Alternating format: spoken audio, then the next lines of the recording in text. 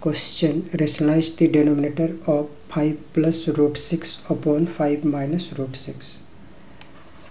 5 plus root 6 upon 5 minus root 6 equal to 5 plus root 6 upon 5 minus root 6 तो question के according हम इसके, इस डेनोमीटर को रेशनलाइज करेंगे। तो ये फाइव माइनस रूट सिक्स है तो हमें इसके न्यूमिनेटर और डेनोमीटर को फाइव प्लस रूट सिक्स से मल्टीप्लाई करना होगा, उसके अपोजिट साइन से।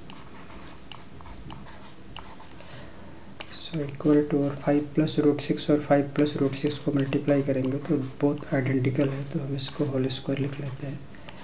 और इसके डेनोमीटर में हम इस आइडेंटिटी को यूज़ करेंगे। ये A plus B into A minus B equal to A square minus B square तो ये होगा five whole square minus root six whole square so equal to और इसके न्यूमरेटर में अब हम A plus B whole square की identity use करेंगे। A square plus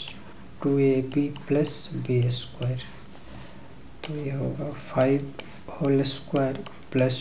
two into five into root six plus root six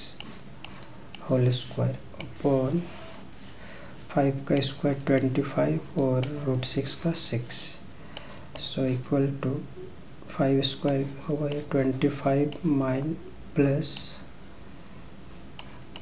ten root six plus six upon twenty five में six minus करने से ये होगा nineteen. So equal to twenty five और six, thirty one plus ten root six upon nineteen answer